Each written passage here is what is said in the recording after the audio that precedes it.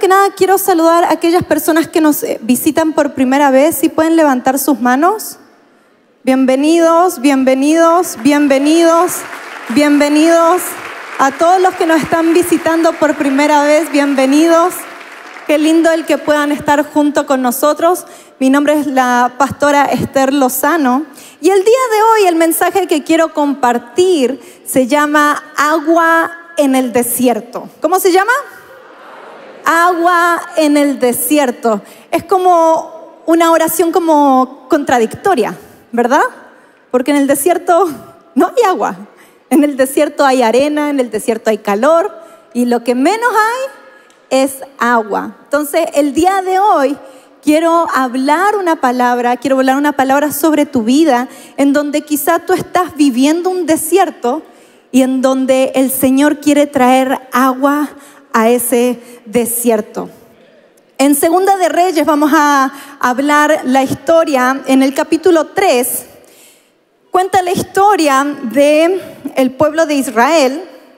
Hubo una guerra civil hacía muchos años atrás en donde se dividió Israel en dos, en donde estaba eh, el rey de Israel y después estaba el rey de Judá.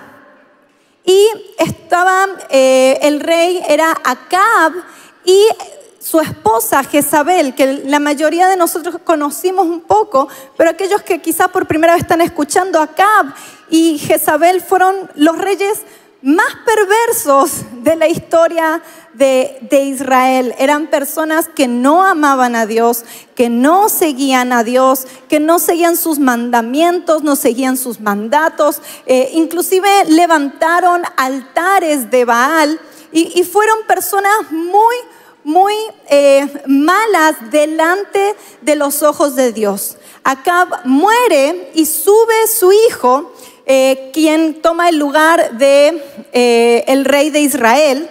Y en el, en el sur, en Judá, el rey de Judá era Josafat. Josafat, por otro lado, Josafat era un hombre que temía a Dios, que amaba a Dios, que era justo y que seguía los mandamientos del Señor. Entonces podemos ver como e, ese contradictorio entre, entre Israel, el rey de Israel y el rey de Judá. Pero ¿qué sucede? Tenían un enemigo en común que eran los moabitas. Era otro, otro pueblo, los moabitas. Y los moabitas habían hecho un, un pacto, por así decirlo, con Acab, el papá del, rey de Israel, en donde le pagaban un tributo y con eso eh, estaban en paz, por así decirlo. Entonces cuando muere Acab, ¿qué, ¿qué, sucede? El rey lo ve como una oportunidad de los moabitas y dice, yo ya no voy a pagar más impuestos. Entonces se levanta el rey de Moab en contra de Israel. Y entonces el rey de Israel va y acude a Josafat y le dice, Josafat, vamos, nos juntemos tú, yo y eh, el rey de Edom y vamos a pelear en contra de los moabitas. Entonces, ese es el contexto en el que vamos a empezar a leer. Entonces está ahí el rey de Israel diciéndole en el versículo 8 y dijo, ¿por qué camino iremos? Va y le pregunta a Josafat, Josafat, ¿por qué camino vamos? ¿Qué camino crees que sea bueno? Porque cuando reyes, países, estrategas van a la guerra, tienen que hacer planes, ¿verdad? Todos los que vamos a empezar un plan de acción, necesitamos tener un plan eh, con los pasos a seguir. ¿Para qué? Para entonces poder calcular, cuáles van a ser los pasos, qué es lo que vamos a hacer, cuáles son los recursos que necesitamos y, poder administrar eh, sabiamente los recursos. Y le dice, y él respondió por el camino del desierto de Edom. Entonces le dice, vamos a atravesar y vamos a ir por el desierto de Edom. Ahora, hay que considerar que el tamaño del ejército era grande, ya que eran tres ejércitos, el ejército de Israel, el ejército de Judá y el ejército de Edom. Eran tres reyes que se juntaron para ir en contra de los moabitas. Y entonces dice que fueron, que se levantaron y que tuvieron ese plan de poder ir hacia el desierto. Y dijeron, vamos a atravesar el desierto. Y yo creo que en algún momento dijeron, en tal parte vamos a descansar, nos vamos a abastecer de agua, porque si van a ir en el desierto tienen que tener agua. Y entonces empezaron con sus planes, pero ¿cuántos saben que muchas veces los planes no salen de acuerdo a lo que inicialmente quisimos que fueran, verdad? Y una vez que se pone en marcha y en plan de acción, el plan quedó completamente aniquilado. Y uno dice, bueno, vamos al plan B. Bueno, el plan B tampoco funcionó, vámonos al C. Y uno empieza a buscar los distintos planes. Y esto le pasó a los reyes. ¿Por qué? Porque dice que salieron en el versículo 9 y dice, y pues el rey de Israel, el rey de Judá y el rey de Edom, y como anduvieron rodeados por el desierto siete días de camino. ¿Cuántos días? Siete días de camino. Dice, les faltó agua para el ejército. Yo creo que muchos nos hemos encontrado como ellos, ¿verdad? Donde nuestros planes no han salido como los habíamos planeado. Pero te tengo una noticia. Dios tiene un mejor plan para tu vida. Dios tiene un mejor plan para este 2023. Quizá tú en enero de este año, tú dijiste, eh, esto voy a lograr para el año 2023. Estamos en noviembre y quizá esos planes no se realizaron y no se llevaron a cabo. Pero el Señor viene a decirte esta noche, yo tengo planes para tu vida. Este año 2023, el mundo ya dice, ya se acabó, ya está terminando, empieza a ver para el 2024, pero el día de hoy quiero decirte, el 2023 todavía no ha acabado, todavía no ha acabado, el Señor no ha acabado contigo, el Señor tiene un mejor plan para tu vida. Y dice en el versículo, seguimos, desierto, siete días de camino y les faltó el agua para el ejército y para las bestias que los seguían. Entonces el rey de Israel dijo, ah, ¿qué ha llamado Jehová a estos tres reyes para entregarlos en manos de los moabitas? ¿Qué pasó? Él estaba diciendo, Dios me está castigando.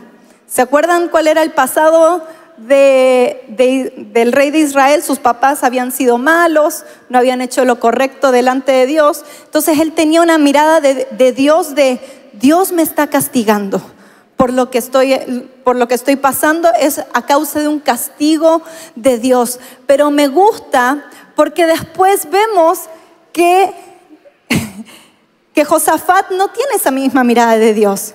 Y dice, "Mas Josafat dijo: ¿no hay aquí profeta de Jehová? ¿No hay aquí profeta de Jehová? Y me encanta por qué. Porque Josafat tiene otra visión de Dios. Josafat sabe que Dios no te va a meter en algo y que te va a abandonar. Ese no es nuestro Dios. Nuestro Dios va a cumplir cada una de sus promesas, cada una de las cosas que Él ha hablado a tu vida. Él las va a cumplir. Y Josafat ve que viene el caos, Josafat ve que viene el problema, Josafat ve que, que no hay solución. ¿Y qué es lo que dice? ¿Se empieza a quejar? No, Él dice, ¿habrá algún profeta de Dios por aquí? Quizá hay muchos de ustedes que están pasando un problema, que su vida está en caos, que quizá no vean solución o no vean salida a lo que están pasando. Y ustedes dijeron, hoy vamos a la casa del Señor. Y por eso tú estás aquí el día de hoy para escuchar qué es lo que el hombre de Dios, la mujer de Dios, qué es lo que el profeta tiene para hablar a ti, a tu vida. ¿Cuántos dicen amén? Y entonces pregunta, ¿habrá profeta de parte de Dios para que consultemos a Jehová por medio de él? En los momentos más difíciles de tu vida, la única alternativa que te queda es escoger al Dios de los cielos. No te queda en ir a buscar a tu amigo, no te queda en ir a, buscar al gobierno, sino que llega un momento en donde ya no hay salida, ya no hay solución y lo único que te queda es ir y escoger a Dios y decirle, Señor, ¿qué tienes para mi vida? ¿Qué es lo que quieres para mí con esto? ¿Cuáles son tus planes? ¿Cuáles son tus estrategias? ¿Qué es lo que quieres decirme? Y aquí es donde seguimos en el versículo 11 y dice, y uno de los siervos del rey de Israel respondió y dijo, aquí está Eliseo, hijo de Safat, que servía a Elías. Vamos a detenernos ahí. Habla de Eliseo. Y me encanta porque cuando lo presenta no es Eliseo que anda por la vida rondando solo sino que dice, Él es el que servía a Eliseo. ¿Qué te habla eso? Te habla de un hombre bajo autoridad. Un hombre que sirvió, un, hombre que sabía seguir órdenes, que sabía eh, lo que era el servicio, un hombre que a causa de su corazón de servicio, de lealtad, lo que Dios había depositado en Elías, depositó el doble en Eliseo. Y ese es el profeta que el Señor usó en, este, en esta historia, un hombre que había estado bajo autoridad. Cuando tú escuchas un hombre de Dios, cuando alguien viene con una palabra de Dios a tu vida, tú tienes que ver quién es ese hombre. ¿Está bajo autoridad? ¿Tiene sentido lo que me está diciendo o no tiene sentido? Porque uno también tiene que pesar la palabra que le es dada. Amén. Y entonces habla y dice, yo conozco a uno. Y dice, he aquí está Eliseo, hijo de Zafat, que servía a Elías. ¿Seguimos? Y dice, y Josafat dijo, este tendrá palabra de Jehová. Este tendrá palabra de Jehová. ¿Le puedo pedir si voy a necesitar a los músicos? Si pueden subir, van a predicar hoy conmigo. Así que para que, que vayan subiendo.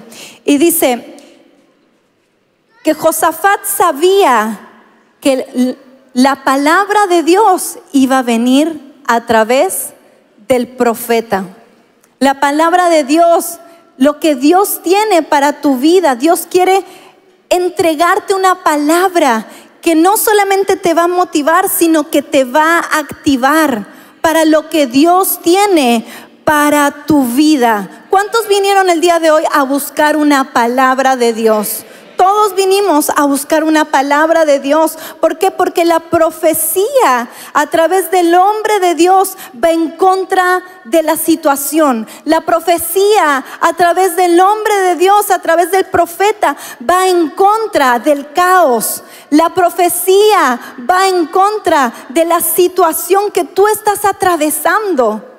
Y eso es lo que todos necesitamos. Todos los que estamos aquí estamos atravesando un desierto. De una u otra forma, todos tenemos problemas en donde necesitamos una palabra de parte de Dios. Y continúa en el versículo 14 y dice, y Eliseo dijo, vive Jehová de los ejércitos, en cuya presencia estoy que si no tuviese respeto al rostro de Josafat, rey de Judá, no te miraría a ti ni te viera. Le está hablando al rey de Israel. ¿Por qué? Porque de los tres reyes, el que tenía una comunión con Dios era Josafat. El que mandó a buscar al profeta fue Josafat el que dijo, hay algún hombre de Dios que Él nos va a dar palabra de parte de Dios, fue Josafat. Y cuando fueron los tres reyes, y eso también es algo súper bueno, muchas veces uno espera a que el hombre de Dios venga a nuestra vida. Pero aquí podemos ver cómo los reyes, ellos dice que descendieron a buscar a Eliseo. Y Eliseo, como siendo profeta del Antiguo Testamento, era, era un poco eh, severo, por así decirlo. Aparte que había tenido eh, historia con, con, Jezabel y con Acab, que eran el papá de, Israel, del rey de Israel. Y le dice, mira, si no fuera por Josafat, yo no estaría aquí. Y continúa y dice,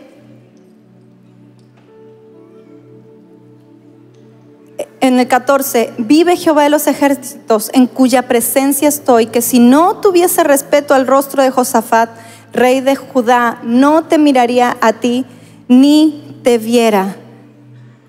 Y sigue y dice, mas ahora traedme un tañedor. Mas ahora traerme un tañedor. ¿Qué es un tañedor? Todos estos de aquí son tañedores. Así que ahora ustedes van a estar junto conmigo predicando, chiquillos. Porque dice que Eliseo dice, voy a hablar de parte de Dios, pero primero vamos a hacer un culto, vamos a hacer una reunión, vamos a comenzar a alabar al Señor. Ahora, yo quiero que entiendan esto. Yo creo que los hombres y los del, los del ejército, los, los reyes, decían, pero ¿cómo vamos a cantar? Estamos siete días caminando, siete días cansados, siete días bajo el sol, siete días sin tomar agua y más encima tenemos que cantar. Como que no tiene mucho sentido. Y quizá hay muchos de ustedes que están de esa forma, en donde no tienen ni siquiera ganas de cantar, en donde la vida ha sido tan dura, en donde la vida ha venido a atacarte una y otra y otra y otra vez. Y cuando vienes a la iglesia y que te dicen, levanta tu voz, comienza a cantar, no, te, no tienes fuerzas de hacerlo.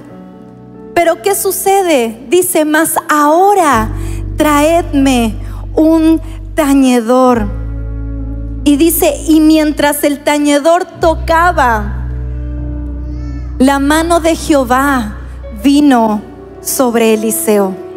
La mano de Jehová vino sobre Eliseo. Mientras tú alabas, mientras tú abres tu boca, mientras tú comienzas a exaltar al Señor, mientras tú comienzas a desviar tu mirada de los problemas, de lo difícil que está la situación, de lo complicado que está el diagnóstico, y en vez de concentrarte en lo terrible que está esos siete días en el desierto, en donde tienes sed, en donde no ves agua por ningún lado, y en donde comienzas a redireccionar tus ojos al autor de la vida y comienzas a abrir tu boca y comienzas a exaltarlo y comienzan a sonar los instrumentos y en donde comenzamos a levantar una adoración y decirle, Señor, tú eres grande, Señor, no hay nadie como tú, Señor, si tú nos enviaste, tú nos vas a llevar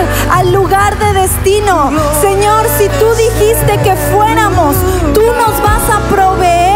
Y en donde comienzas a exaltarlo con tu corazón y en donde comienzas a sentir cómo la presencia del Señor comienza a descender. Dice que bajó la vino eh, Jehová sobre Eliseo. La presencia del Señor vino. Cuando tú comienzas a abrir tu boca, Dios responde. Cuando tú comienzas a direccionar tus ojos al lugar correcto, Dios responde. Cuando tú comienzas a sacar tu mirada del caos, a sacar tu mirada de la situación, Dios comienza a responder y comienza a darte la solución que tú tienes y que estás buscando. Cuando más difícil esté la situación, abre tu boca, comienza a adorar y Dios comenzará a hablar. Amén. Amén. Comienza ahí mientras estamos predicando, mientras la música está sonando, que tu corazón empiece a alabar al Señor y le diga, Señor, gracias porque tú has sido bueno. Ayer en las mujeres nuestra pastora nos predicaba sobre ser agradecidos. Es tan fácil ver lo malo, es tan fácil ver lo difícil, es tan fácil ver eh, todo lo que falta. Y es tan difícil el ser agradecidos. Y la adoración es una señal de gratitud. Es una señal de decir, Señor, gracias porque tú eres fiel. Gracias porque tú eres bueno. Gracias porque aunque está todo terrible, tú, Señor, vas a comenzar a hablar. Entonces, cuando la situación pasa a ser difícil, número uno, la primera alternativa es, ¿habrá algún profeta por aquí? Mi alternativa es ir y buscar a Dios. Y número dos, propone levantar adoración en medio del caos. Y cuando comienzas a adorar, esa tierra seca va a comenzar a brotar agua esa tierra seca que estaba infértil, que era solamente arena, que no había nada de vida en ese desierto, de repente van a llegar el agua, va a comenzar a, a brotar la provisión de Dios. Cuando adoro no puedo ver el mañana. Ninguno de los que estamos aquí podemos ver el mañana. Entonces, ¿qué sentido tiene adorar? ¿Qué sentido tiene el abrir mi boca si, si la situación sigue igual de mal? ¿Qué sirve el, el exaltar a Dios si no sé qué va a pasar mañana?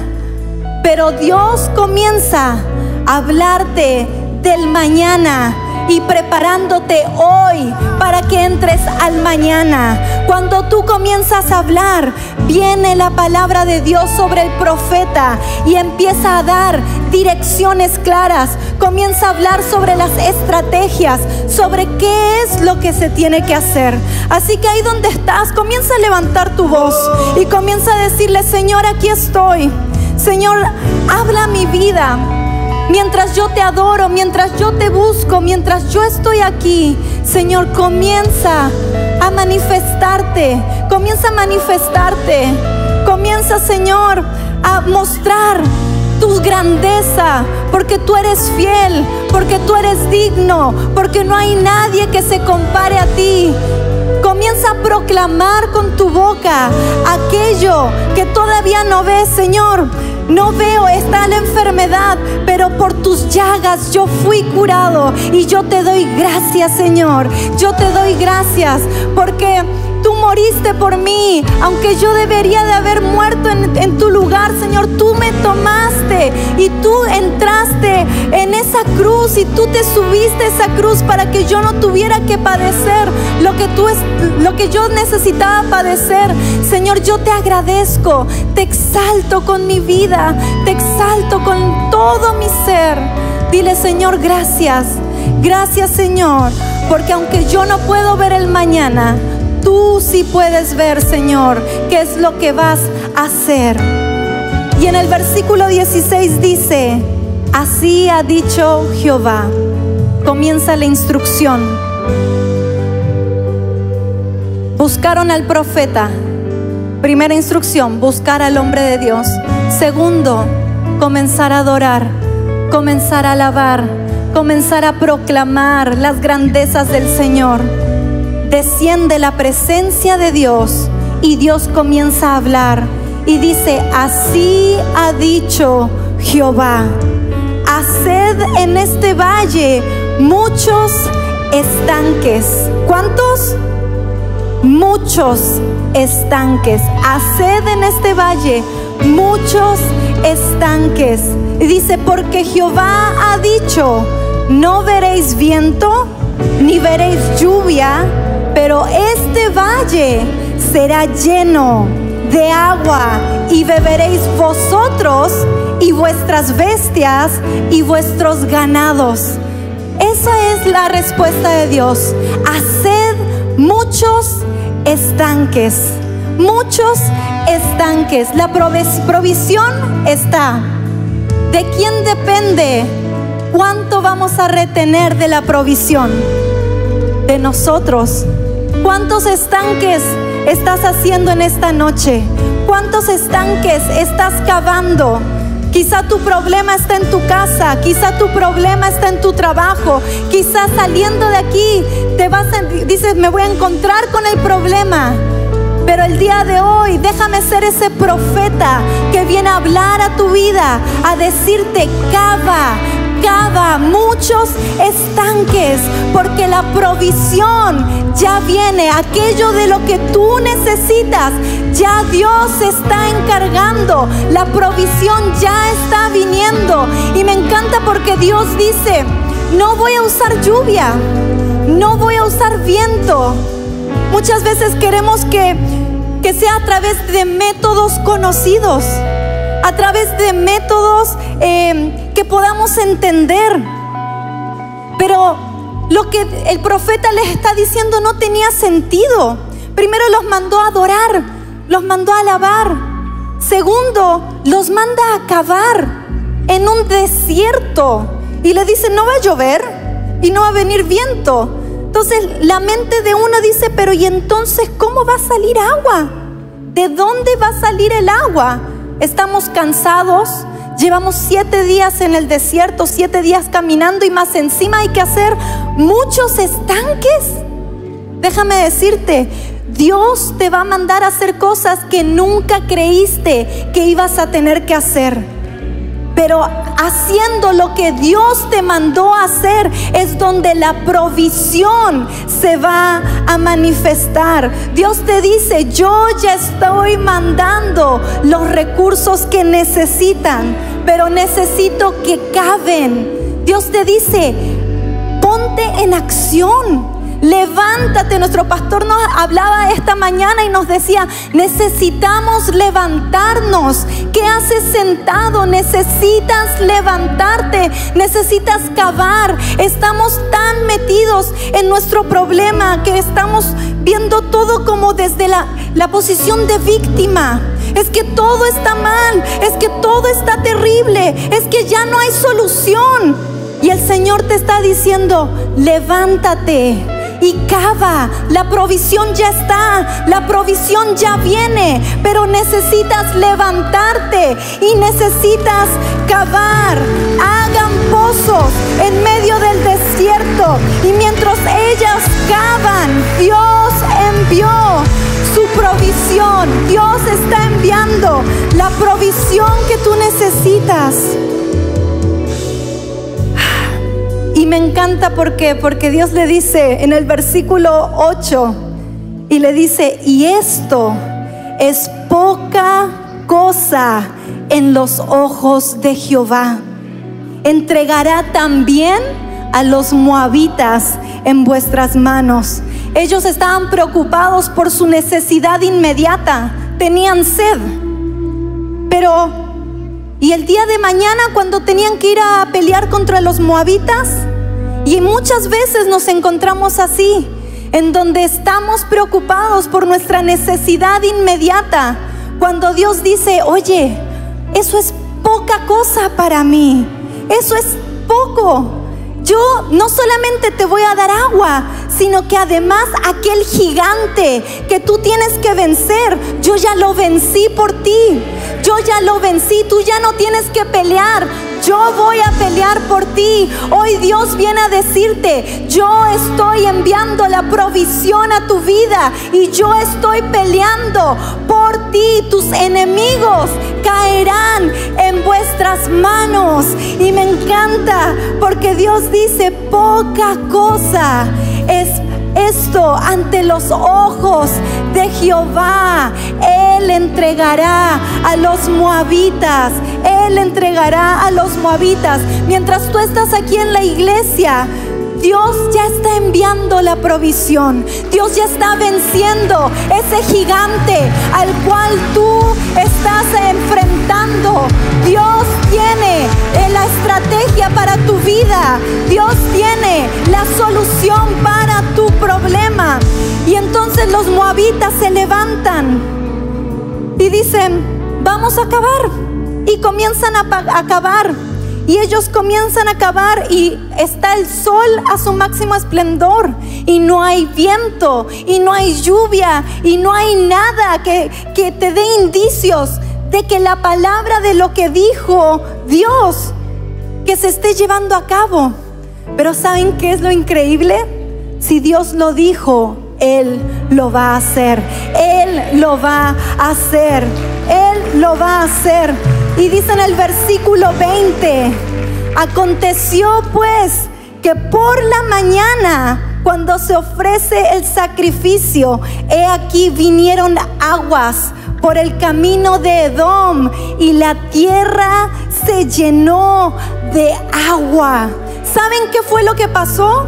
Habían montañas que estaban cerca del desierto donde ellos estaban.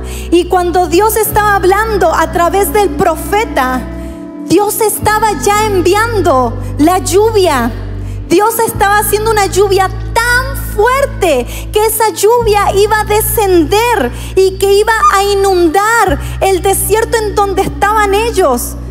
Entonces tú te estás preocupando aquí por algo que Dios ya está llevando a cabo para que la provisión llegue a tu casa, para que lo que tú necesites llegue a tu casa. Yo no sé cuántos están necesitando una respuesta de Dios. Y me encanta porque no solamente fueron saciados el ejército entero, no solamente eh, fueron también eh, las bestias y los animales con los que iban, sino que dice que los moabitas se despertaron y que con el reflejo del agua donde estaban, pensaron que era sangre. Y dijeron los moabitas, estos se empezaron a pelear unos contra otros y se mataron entre ellos. Y dijeron los moabitas, vamos por el botín. Y, fueron ellos tranquilos sin esperar de que el ejército estaba fortalecido con el agua, estaba armado. Y dice que Dios confundió a los moabitas con aquello que Dios te da de provisión. Él va a confundir a tus enemigos. Él va a confundir a tus enemigos y te los va a entregar en tus manos. Dios no solamente quiere saciar tu necesidad inmediata, sino que Dios quiere matar el gigante con el que tú estás batallando. Quiero animarte a que te pongas de pie ahí donde estás. Yo no sé qué situación tú estás atravesando. Yo no sé cuál es tu desierto, pero Dios sí lo sabe. Dios sabe qué es lo que estás atravesando.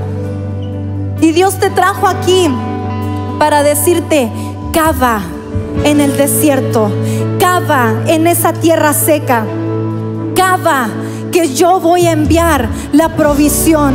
La provisión ya está. La provisión ya viene. Este año 2023 todavía no ha acabado. Este año 23 las aguas van a comenzar a descender y van a comenzar a llenar tus estanques. Van a comenzar a llenar tus estanques. Y ahí donde estás, levanta tus manos y comienza a alabar al Señor. Comienza a abrir tu boca. Comienza a exaltar sus maravillas. Señor, gracias porque tú eres bueno. Gracias, Señor, porque no hay quien se compare a ti. El tiempo de la tierra seca se acabó. El tiempo de la tierra seca se acabó. Ve, abre estanques nuevos muchos estanques porque Dios ya envió la lluvia, Dios ya envió la provisión que tú estás necesitando y aquello que te está oprimiendo, aquello que está viniendo en contra de tu familia, en contra de tu matrimonio, en contra de tu eh, matrimonio, en contra de tu salud. El Señor ya lo venció, ya está vencido, ya está vencido.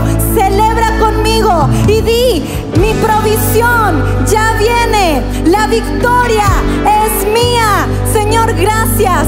Gracias por tu palabra.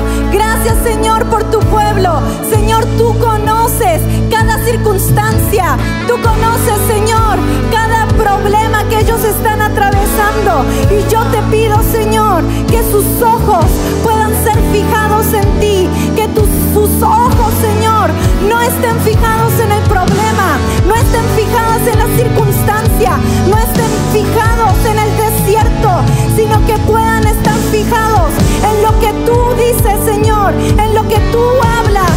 En el nombre de Jesús, lloro para que sus oídos sean abiertos, sus ojos sean abiertos para verte a ti, para escucharte a ti y que en el medio del problema ellos puedan que tú eres el que tienes el control y que si tú lo dijiste, Señor, no hay nada, no hay nada